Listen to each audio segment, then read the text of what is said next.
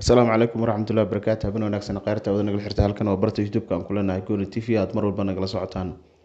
Barteena youtube-ka goni t v waxaa kaloon leenahay page isla goni t v ah oo asagana facebook aad kala socon kartaan.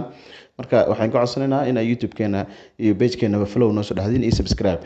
Caawa waxaan ku soo qaadan doonaa barnaamijka ayaamaha laisla dhex marayay taasoo ah shuute taliyaha ciidamada maxkamada taliyaha ciidamada qalabka sida inuu micnaha si qalad ah ugu xukumay wiil dhalinyaro ah kaasoo ka soo jeeda beesha jareerweyne laguna eedeeyey in wiilkaasi micnaha si qalada loogu xukumay. Marka waxaa aada iyo aad kiiskaas ugu dheeraaday maanta wuu ka hadlay wuxuu kaloo ka hadlay nin oday ah oo asagana sargaal ahaan jira abkoo lagu magacaabo in asagana elboorka magaalada muqdisho uu gudbiyey laba shabaab ah.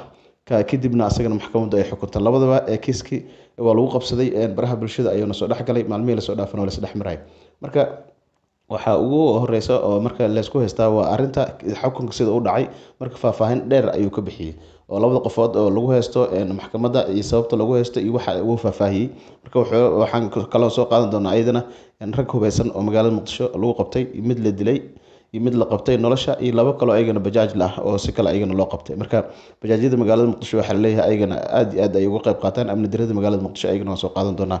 Waxaan ka hormaraynaa shuute waxaa lagu haystay wiil maxaa la dhalinyaro ah oo toddobiyi toban sano jir ah oo u dhashay beesha habargadir gaar ahaan salebaan oo lagu dilay ceelasha biyaha meel u dhow iyadoo shil laba bajaaj shil ku gashay meesha la soo wadayay ayaa waxaa wiilka meesha isagoo marayo gaarigii waxaa layidhi rasaas ayaa meesha ka dhacday labadii bajaajna traafiga doontay oo baawur traafik ah oo doontay. Marka traafikada doontay saddex ayay ahaayeen laba nin ma hubeysnan hal nin oo hubeysnaa marka meesha xabadaha ay ka dhaceen shaqaaqa ayaa ka dhacday nimanka shabaab ayaana soo weeraray. Sida warka sheegaya shuute wuxuu dhahay waa la soo weeraray. Ayagoo gaarigii macnaha labada bajaaj wado ayaa macnaha meel intay istaageen oo bajaajka mid ka mid ay shaqeyn weysay jiiditaankii la jiidaya ayaa waxaa ku dhaga break. Markaas breega iyaga ka fujinaya. Hal mar rasaas qabsatay. Marka nimankan sabab ay wax u weeraraan ay xabad wax u ridaan maba jirinba labada bajaaj ay soo jiidayeen. Mid waa soconays midna may soconayn waa la soo wada marka. Wuxuu dhahay meeshii iyadoo sidii socoto ayaa waxaa dhaco yiri shabaabkii ayaana soo weeraray meel cidla ah ayayna ahayd. Markii la soo weeraray xabadihii waa wada dhacay dadka waa wada seexdeen. Markii dadka wada seexdeen dadka way kala carareen wixii dadka shacabka ahay iyo wiilashii bajaajyada wax dhan way carareen meesha waxaa marka ku soo haray oo meesha ku gambaday oo markii dambe isha rasaastii ay dhacday la kala yaacay xabadihii laysku ridayay oo inta badan shabaabkaas soo weeraray nimanka taraafikada inay dilaan ay rabeen taraafikadana ilaahay amarkiis waxba kumay dhifan. Marka bajaaj ka bajaajyada ayaa xabad ku dhacday wiil yaroo dhalinyaro ah oo meesha taagnaa todobiyi toban sano jir ah ayaa xabadii ku dhacday.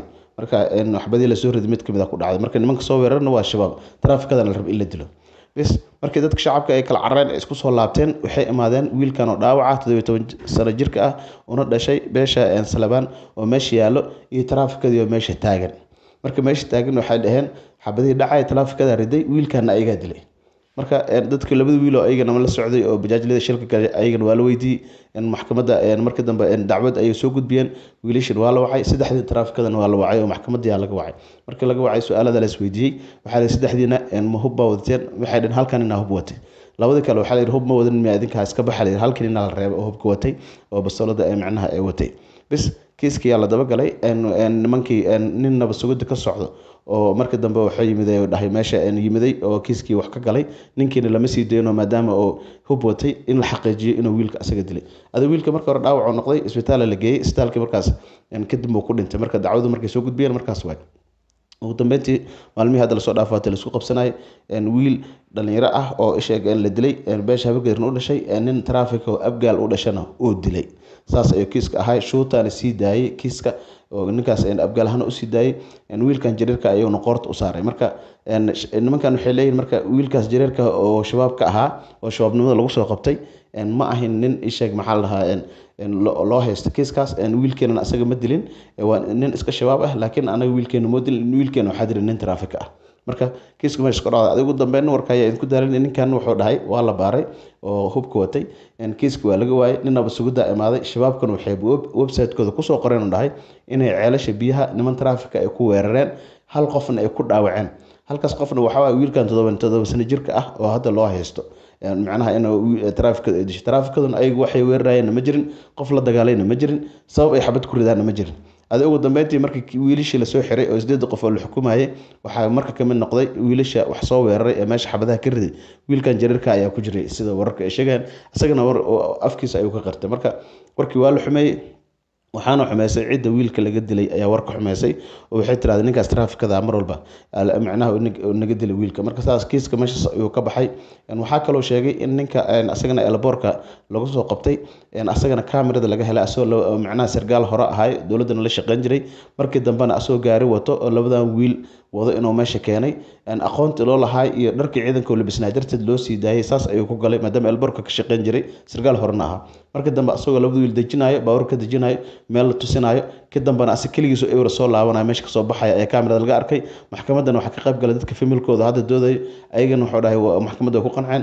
Hadda markii kiiska la xukumay kadib ay waxay bilaabeen oo dhahay wiilkan ninkan odagaa si qalada lagu xukumay marka wuxuu dhahay inta badan maxkamadaha anaga waxbaa xukunaa laakiin qofkii dood qabo maxkamaddu imaan karaa.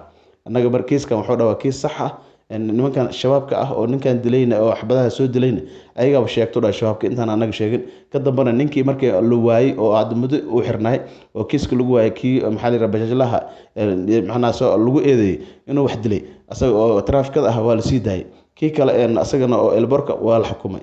Kii jareerka asagana oo ay leeyihiin hadda si qaldana loo xukuma asagana waa la xukumo shabaabka ka tirsana asagana afkiisa ka marka wuxuu leeyahay isku soo wada duube kiisaskaas qofka dacwo ka qabo ama dood ka qabo ha yimaadaan maxkamadda ka dambana wixii dood ay ka qabaan ha yimaadaan. Kiiska wiilka oo dhalinyarada oo leeyahay beesha jareerweyne waayo waana laga gardaraya leeyahay maxkamadda ha imaadaan hana ku qancaano.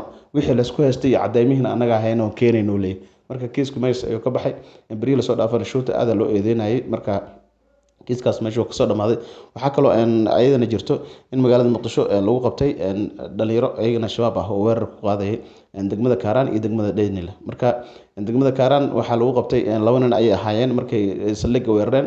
Mid waa la dilay oo ciidamadii aa dilay. Midna wuu cararaya isagoo seven la cararaya. Waxaa soo qabtay dhalinyaro fara badan oo shacab ah ayaa ka qabtay. Marka beryaha shacabkii ku kacsan shabaabkii isagii macal sevenkiisa isla soo qabteen. Ciidamada dowladdana u yimid islamarkiina gacanta ku dhigay.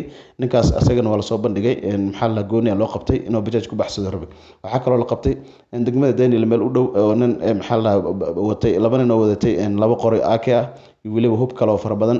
Ayagana waxay rabeen inay saldhigga degmada daniel weeraraan ayagana isku mar ayay caawa qorshahaas u ahaa labadiina waa la soo qabtay oo waa la soo bandhigay. Marka shabaabku waxa way isku dayaan in mar walba wax dhibaateeyaan bajaajladan waxaa la leeyahay aada iyo aada looga digaya maadaama habeenkii lix saac la joojiyay inaysan bajaaj socon karin. Amniga magaalada muqdisho ayay ka qayb qaadanaysaa la leeyahay bajaajka inta badan oo lagu baxsadaa wayna raacaan. Marka nimankaas labada qoray watay oo maxaa la ak forty sevenka waxaa waxaa lagu soo lagu qabtay degmada daniel ciidamada booliiska ayaana qabteen kuwan ayagana waxay weerareen saldhigga degmada kaaraan oo ayagana saas ayaa iyada mid lagu dilay midna lagu soo qabtay. Marka isku soo wada duube amniga magaalada muqdisho. Maalmihii la soo dhaafo howlgalo aad u fara badan ayaa ka jiray. Ciidamadan waxay begsanayeen shabaabka mar walba isku dayo in macnaha ay wax dhibaateeyaan ama wax qarxiyaan ama inay wax sameeyaan. Marka shabaabka ayagaba xaaladooda ku xuntahay oo beri la soo dhaafayba iska daciif ahaa marka waxay sameynayaan in mar walba isku dayaan arbishaad ay sameeyaan ama ciidamo ay qarxiyaan ama dad inay dhibaateeyaan ama kiiskii wixii maxaa la dhahaa si kiis uu u dhaco oo mar walba la dhaho shabaab wax qarxi shabaab inta ka dil shabaab inta ka bax kan la dhaho waxay raadinayaan inay arbishaad sameeyaan. Laakiin hadda xaalkooda daciif waaye sidii horena ma ahin magaalada inta badanna baaritaanka joogta ayuu noqday isdabagal ayaa noqday ciidamadii joogta ayay kontaroolada loo dhigay. Haddana dhowr mar ayaa bajaajo la qabtay oo hub wado. Marka baaritaanka waa la kordhiyey inta badan waxaa la jiray bajaaj miya ahaa? Iska soco. Aa jiray. Marka sheekada waa xumaatay marka amniga xumaaday bajaaja iska soco waa dhamaatay baaritaan adag ayaa la ismarsiinaya bajaaj miya ahaa? Istaag waa la fiirinaya kor hoose laga fiirinaya marka waa lagu soo qabtay raggaasi amnigeena wax u dhimayeen. Mar walbana weerar ayay isku dayaan marka bajaajleyda magaalada muqdisho qaar waxaa la leeyahay waxa aad qaadaysin iska fiiriya. Dadka aada hubaysana iska qabanaysin iska ilaaliya. Kuwa shabaabka la shaqeeyo oo bajaajleydana ayagana waa lagu daba jiraa in la soo qabtaa laga yaaba sababtoo ah waxay wax u dhimayaan amniga dowladnimada ayayna wax u dhimayaan. Shabaabka ummadda soomaaliyeed way dhibaateeyeen ilaahay waxaan leenahay ka qabto shabaabka ummadda mar walbana waxay isku dayaan in qof bini aadan oo soomaaliyeed uu dhinto. Wax kale ay raadinayaan ma jiraan. Amisaguna ma weeraraan dad kale ma weeraraan dowladda si toosa uma weeraraan. Waxay iska raadiyaan in shacabkaas masaakiinta ah magaalada iska dhex maraya in la weeraro oo maalinba la dilo ama la qarxiyo ama wax la iskaga tutuuro ayay raadinayaan oo mar walba qof uu dhinto. Marka inta dhimata ilah naxariisto inta dhaawacan ilaah bogsiiyo ummadda soomaaliyeedna waxawaaye mar walba dadaal ku jiraan dowladda soomaaliya ilaah ku guuleeyo inay nimankaas meesha ka saaraan. Waxaana wararkeena dambe ayaan wixii intaas ka dheer idinku faahfaahin doona. Akhyaaray waana ku mahadsantihi la socodkiina barnaamijkeenan waxaan ka codsanaa youtube-keena subscribe iyo liketa iyo shaarta intaba inaan la wadaagtaan tani kulanteed dambe xiisale waxaan kaga tagaynaa sidaas iyo nabadgelyo